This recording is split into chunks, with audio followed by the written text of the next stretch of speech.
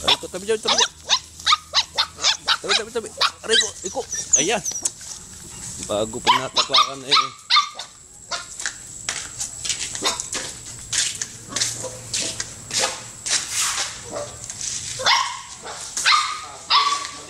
Ah, ito po.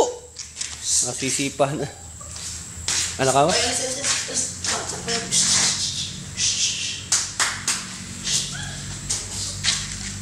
One, two, meron pa pala sa kaluran. Three, four, five.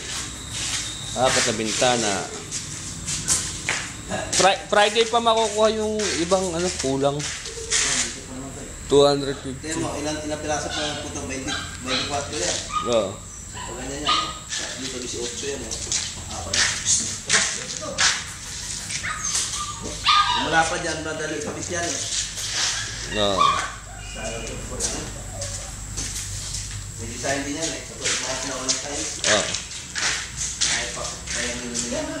Yung yung grout eh hindi ko muna in-order kung finishing namin okay lang yun. Hindi, kahit kukuha ka ng ano, halimbawa ka, ano to, kahit kukuha ka lang ng, kahit mga dalawang bags lang, di ba lima limang kilo naman yun, ano?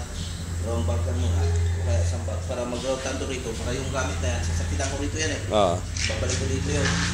Kaya, kaya ano dyan, pag gano'n ang gamit. Oo. Siyempre, pag ilagay mo na dito yun,